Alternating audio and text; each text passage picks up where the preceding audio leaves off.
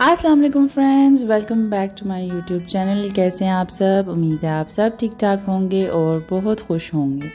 आज जो मैं रेसिपी आपसे शेयर कर रही हूँ, ये बहुत ही मज़े के चना पुलाव की है।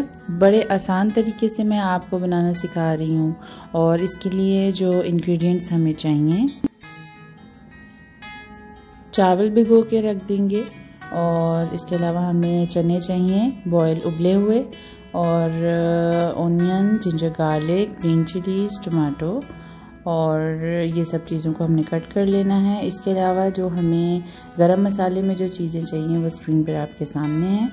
और मैं ज़्यादा गरम मसाले यूज़ नहीं कर रही बिकॉज़ वो फिर टू मच गरम मसाले से भी टेस्ट अच्छा नहीं आता। स्पाइसेस बहुत सिंपल से ऐड कर रही हूँ, नमक और क्रश चिलीज़ और साथ में मैगी क्यूब लूँगी ऑयल लूँगी और अगर आप चाहें तो इसमें बिरयानी मसाला ऐड कर सकते हैं। अदरवाइज़ मुझे ज़्यादा स्पाइसी नहीं करना था तो इसीलिए मैं ये सिंपल इंग्रेडिएंट्स के साथ बना रही हूँ।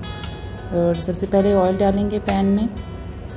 फिर ये सारे अपने गरम मसाले डालेंगे और इनको थोड़ी देर जस्ट कुछ सेकंड्स के लिए हम इनको पकाएँगे। और इसके बाद हम इसमें प्याज शामिल कर देंगे।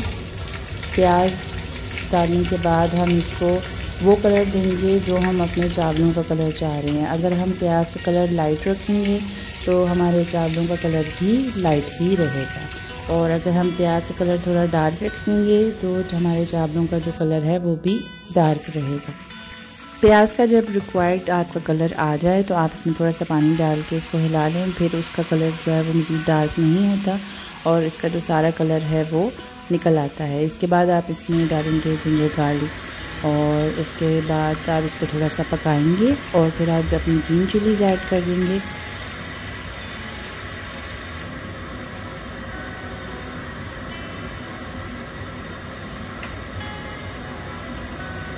ग्रीन चिलीज़ ऐड करने के बाद आपने इसको थोड़ी देर इसके लिए पकाना है और जब ग्रीन चिलीज़ की खुशबू आने लगे तो आपने इसमें टमाटर शामिल कर देने हैं। अगर आपको हमारी रेसिपीज़ अच्छी लगती हैं तो हमारे चैनल को लाइक, शेयर और सब्सक्राइब ज़रूर कर दें। और फिर हम इसमें मसाले में हम डालेंगे अपने स्पाइसेस और मैगी क्यूब ऐड कर देंगे। नमक की मकदार आप अपने टेस्ट के अकॉर्डिंगली कम या ज़्यादा कर सकते हैं और फिर इसके बाद हम इसको मसाले को थोड़ा सॉफ्ट होने के लिए रख देंगे। और जब हमारा मसाला रेडी हो जाए तो इसमें हम अपने उबले हुए चने शामिल कर देंगे। चने डालने के बाद हम बस इसको अच्छी तरह से मिक्स करेंगे। बहुत ज़्यादा देर के लिए नहीं पकाएँगे। बस इसको हम टू टू थ्री मिनट्स जो है वो देंगे और फिर हम इसमें पानी शामिल कर देंगे।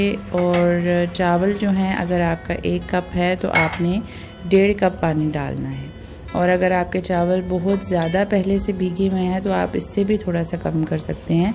लेकिन एक कप के लिए डेढ़ कप पानी बिल्कुल मुनासिब है। और जब पानी में बहुत ज़्यादा जोश आने लगे बॉयल आने लगे तो फिर आपने इसमें चावल डालने। चावल डालने के बाद आपने हल्के हाथों से जो है वो इन सब चीज़ों को मिक्स करना है और शुरू में हम आँच जो है वो तेज़ रखेंगे और आपने इसके ऊपर ढक्कन रख कर इसको बॉयल आने देना है। अब हमने इसको पकाना है जब तक कि हमारे चावलों का पानी जो है वो खुश्क ना हो जाए।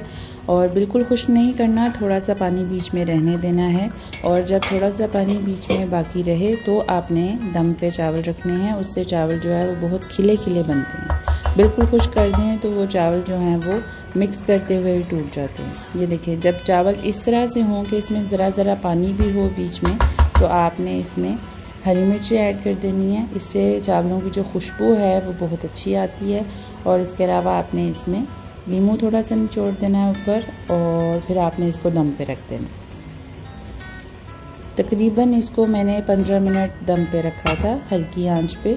दम जब आप लगाएँ तो बिल्कुल सारी साइड से इसको एयर टाइट कर लें।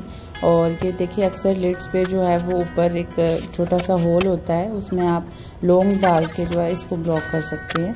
और फिर जब पंद्रह मिनट गुजर गए तो ये देखें, हमारे ज़बरदस्त से चावल जो हैं वो तैयार हैं।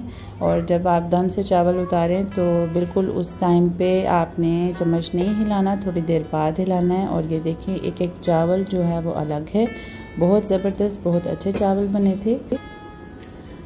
आप भी इसको बनाएँ और सबको खिलाएँ और अगर आपको मेरी ये रेसिपी अच्छी लगे तो मेरे चैनल को लाइक शेयर और सब्सक्राइब ज़रूर कर दें और इन फिर आऊँगी एक नई रेसिपी के साथ।